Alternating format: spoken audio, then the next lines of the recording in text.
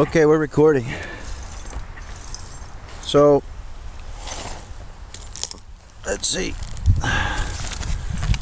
We're at Greg's dump, and this is me, SJ Brian, or Brian. Hopefully, you can see. This is Greg. This is his hole that he's digging. And this is how this is how Greg does does what he does. Greg is taking a plastic tub from Home Depot and he drilled some holes in the bottom. Just like that. And then gets a couple of shovelfuls, sticks it in the, sticks it in the sifter.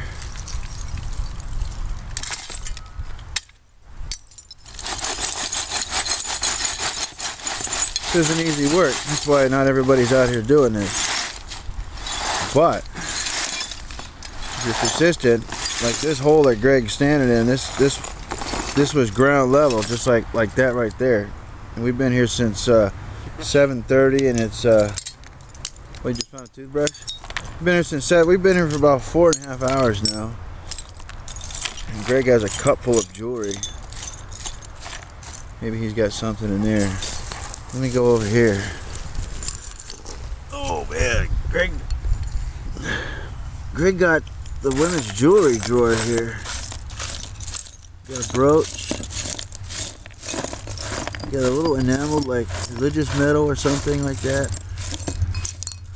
Got this this big cool pin with like some fake stones in it. Maybe real stones, I don't know. Big prize for him is he got this uh, this silver ring, some kind of stone in there. Got a tax token. Got a bunch of stuff. Got some earrings. You got a, a miniature. Oh no, this is a, a, a rifle casing. You got a rifle casing. You got some earrings. You got one marble. You got a heart. Look at that. You got a heart. And uh, you got all the jewelry. I, I can't believe it. Pretty good day. Good jewelry. And what did I get? I got. Greg was in the, the, the jewelry area, and what did I get? I got the kids section. I got 10 marbles, piece of a toy gun, which I'll probably throw away. Dusty out here. This is like a knife handle, like a butter knife handle. It might be silver. It's really heavy, so it probably has lead in it. I got, what did I get? One, two, three, four, five of these gigantic uh, shotgun shells that's made out of metal. They don't make those anymore, at least not out of metal.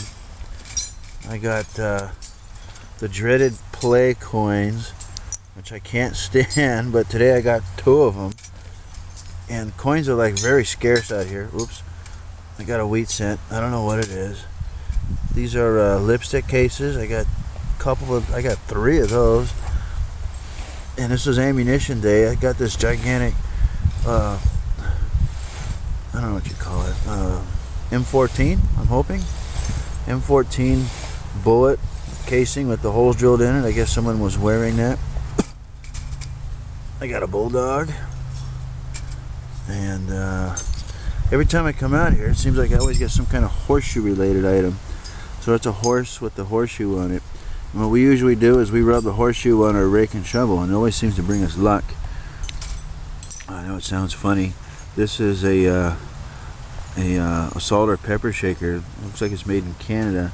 And then we find a lot of these cold cream jars and uh, sometimes they'll have a lid on them and uh, what I'll do is I'll twist the lid off to see if there's anything in it and usually there isn't but today this thing didn't have a lid on it but it had a bunch of old razors on top of it and now I can't get it out.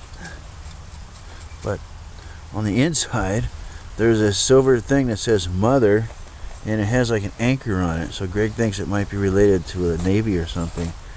So anytime you find a container make sure you break it open. So this is the hole where I was digging at and really unproductive. So let's go through the grass and the trees.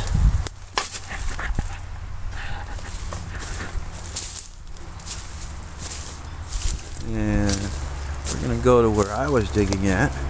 And I plan on going back here again when I'm done filming this. Ah, a lot of broken Coke bottles in here.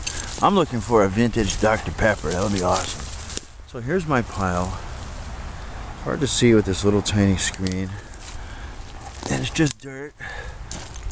And what I do is I use a I use a rake, which I don't have on in hand right now, and I just slowly rake. But I but I want to make that thing that Greg has, because he seems to be pulling up. You know, uh, well, I you know I don't know if it makes any difference.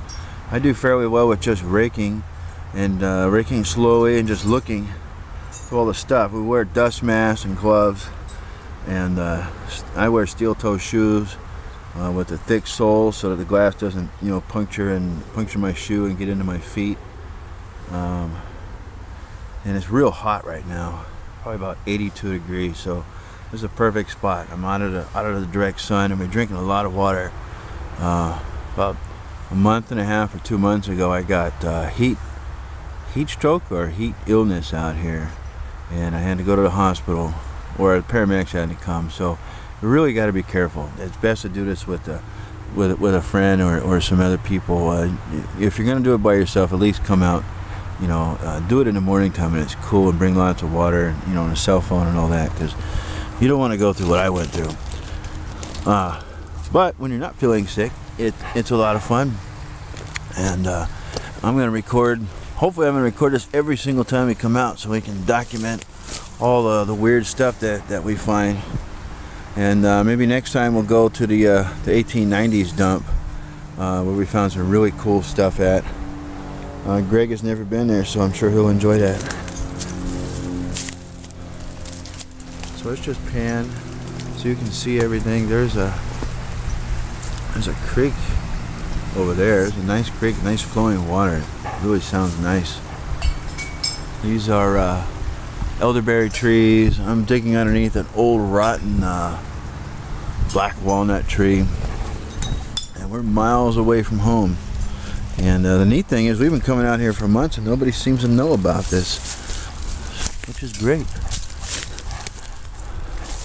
Alright, we're going to go back to Greg. This is me again. And then that's to be it. And we'll see you next time on Digging Adventures with Brian and Greg. Love it, Brian. And maybe Al or Bruce or Warren. Uh, but they're not here today. All right. Bye.